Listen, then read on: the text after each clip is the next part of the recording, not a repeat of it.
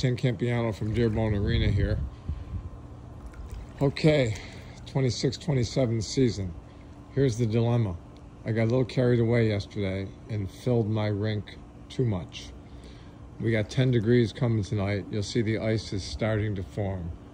The problem, what I've learned after 30 years of doing this, is less water equals more ice.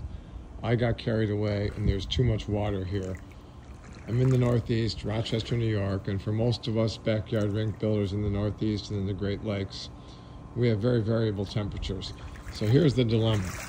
This is the highest spot of my rink, and you'll see that there's four inches, four inches of water in my shallow end.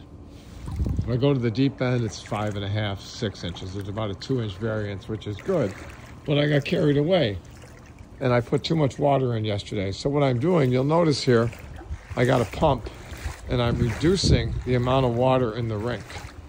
And I'm pumping it into the street and obviously it'll drain. You'll see here in a moment here. Because I want to lower my lower, my shallow end. You'll see there, I'm draining it out. I don't want to put it on the sidewalk, put it in the street. I want to lower the water in my shallow end to about two inches. Because what I've learned is it's all about getting the rink up and running on day one. And with two inches in the shallow end and four or five inches in the deep end, I can get this up and running in two or three days. It takes too long to freeze four inches in the shallow end. I can build an extra inch of ice in the shallow end much easier by adding water to the top. It's called directional freezing. Ice freezes much faster top down than from bottom up.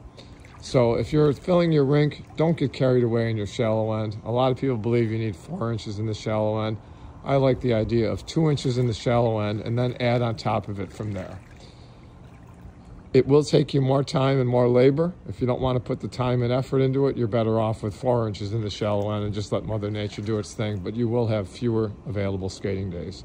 If you want to get your rink open sooner, get two inches in the shallow end and whatever you need in your deep end and your rink will open faster. Best of luck in your ice making adventures. If you enjoyed this video, please uh, subscribe to my YouTube channel down in the bottom right. You'll see a Deer Bone Arena logo. Good luck this year.